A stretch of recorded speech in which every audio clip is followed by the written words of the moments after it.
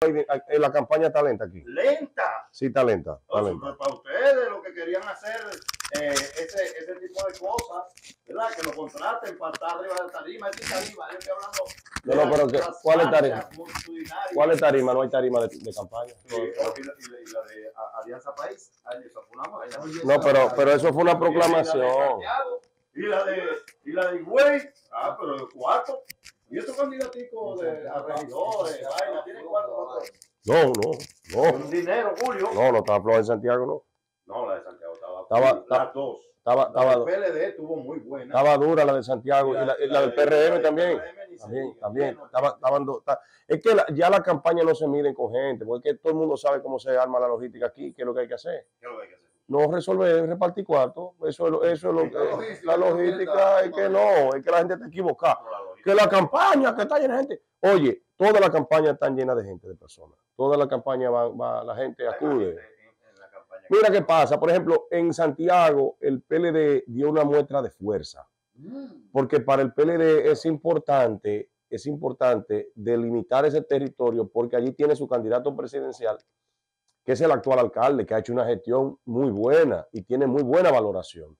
Sin embargo, el PRM tiene el gran desafío de desplazar no solo al alcalde, sino también al senador, que el senador ahora va a ser el ministro de Salud Pública, don Daniel Rivera, que va a asumir esa candidatura y anda Rosa Santos con el agua al cuello, la gobernadora.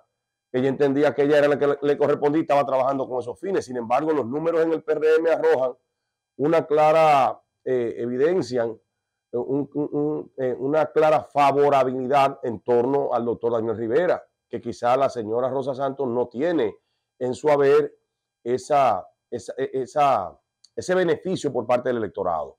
Lo propio ocurre con Víctor Fadul y con Ulises Rodríguez. Ulises Rodríguez le saca a Abel Martín un 33% de la votación en un momento donde el PRM eh, no estaba tan fuerte en Santiago y en un momento también donde el PLD no era una opción.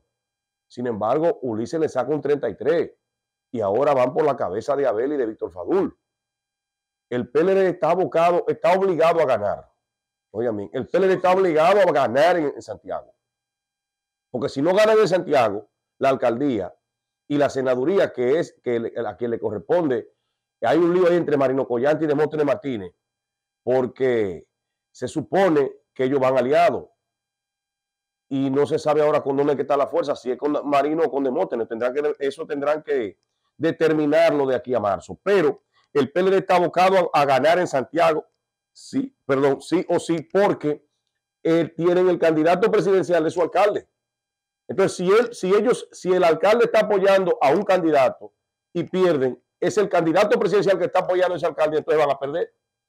Dan una muestra de debilidad lo que aconteció aquí, por ejemplo, con Guillermo Moreno, yo lo había dicho la semana pasada, que todo iba a ser en torno a Guillermo, Guillermo adelante y el PRM atrás. ¿Qué hace Guillermo Moreno? Sube al escenario con el presidente de la República en un escenario presidencial y hace lo siguiente, levanta la mano y lo juramenta como el candidato presidencial al presidente de la República y él automáticamente queda juramentado como, oficialmente como el candidato a senador por la capital. También el PRM está abocado a ganar sí o sí. Mm. Claro. Aquí también. Ah, también. Pero hay muy, muy pocas posibilidades de que eso suceda o no. No, no, no, espérate, no. Ah. Mira, aquí, aquí no se sabe dónde está el dinero, porque hay una situación y es la siguiente. Aquí, por ejemplo, tú tienes a Omar trabajando la carpintería política en las tres circunscripciones. 24 7. todos los días. Sin embargo, tú no has visto a Guillermo Moreno ahí abajo en, en, en ni, ni, ni, ni, lo ha visto ahí abajo, en, ¿cómo se llama? En, en, la puya, mira, ni en la puya, ni en los peralejos, ni, ni en los girasoles, ni para allá abajo, para, por los lados de, de Cristo Rey abajo, en el hoyo chulín, tú no lo has visto. Claro, porque tú no lo has visto. Lo que Guillermo hizo es el discurso que amerita las circunstancias él no puede distanciar a Faride porque él está, prácticamente él está destituyéndola de su posición. Él, la está suplantando. Eso, esa es la verdad. Está llegando, Sí, no, no, no, no. Le dijeron, doña, mire, póngase aquí que el que va es este. Que se quieta. Y ella desde el principio estaba reacia. Y que venga quien venga y que yo que ella no estaba en eso. Sin embargo, yo lo dije desde el principio aquí, miren, la, ¿ustedes acuerdan cuando la rueda de prensa? Sí, sí. Yo le dije, chequen quiénes están al lado de ella. Chequen. Eso es un hecho, porque no tiene ningún apoyo, no consta apoyo. Sin embargo, el discurso es conciliador porque él necesita que la persona a quien él va a sustituir tenga la mayor armonización posible para que le entregue el cargo o la posición, en este caso la posición. Y eh, aunque ella tenga una estructura, la estructura de ella está trabajando para el presidente de la República, más no así para la candidatura senatorial.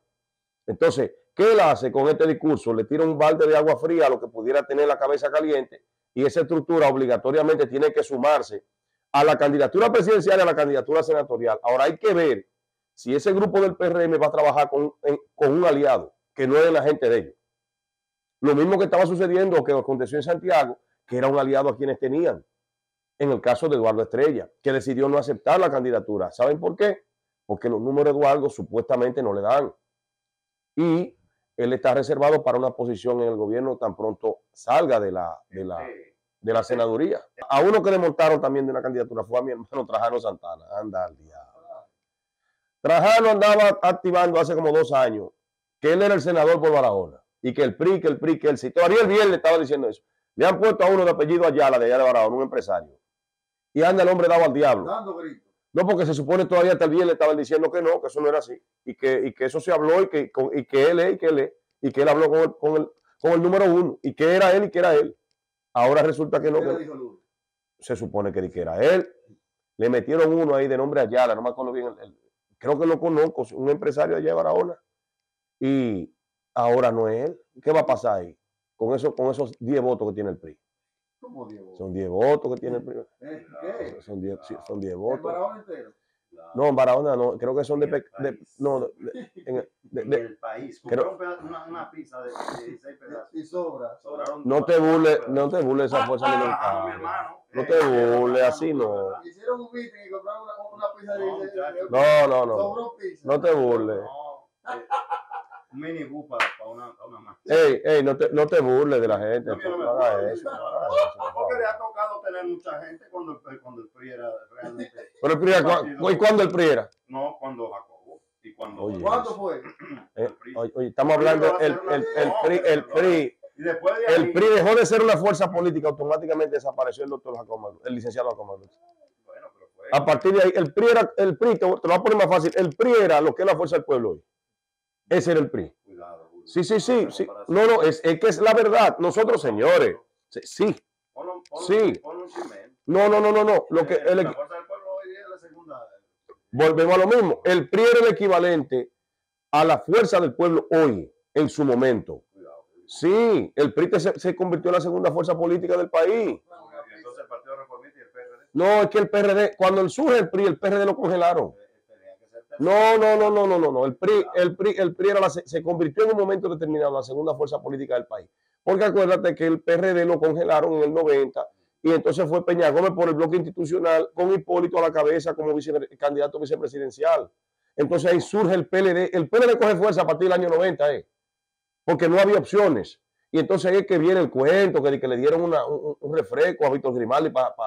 de que, que le dieron una vaina, de que, que, que estábamos a celebrar, no, que vamos a celebrar, de que al otro, de que eso fue en la noche, de que al otro día se levantó a las, a las 11 de la mañana, y de que, que qué pasó, de que, y, con, y con la casa llena de guardia, que, ¿Qué qué pasó ayer? ¿Qué, qué pasó ayer? Que, no, que me dieron una vaina ahí celebrando en la Junta y ahora fue que me levanté. Un lío del diablo. Eh, Todo esa eh, clase de leyendas urbanas, que no fue más que una situación que se presentó con unos votos del partido que ya no hemos derrotado. Que por eso es que yo digo, los aliados, por pequeños que sean, son importantes. ¿Por qué ganó Balaguer en el 90? 13 mil votos que le sumó el Partido Quiqueyano Demócrata de eh, don Elías Wessing Chávez. El PQD, que era PQD, que ahora es PQD, en ese tiempo era PQD, 13 mil votos del sur dieron la diferencia para que ellos ganaran frente al PLD y quedó prácticamente caco con caco.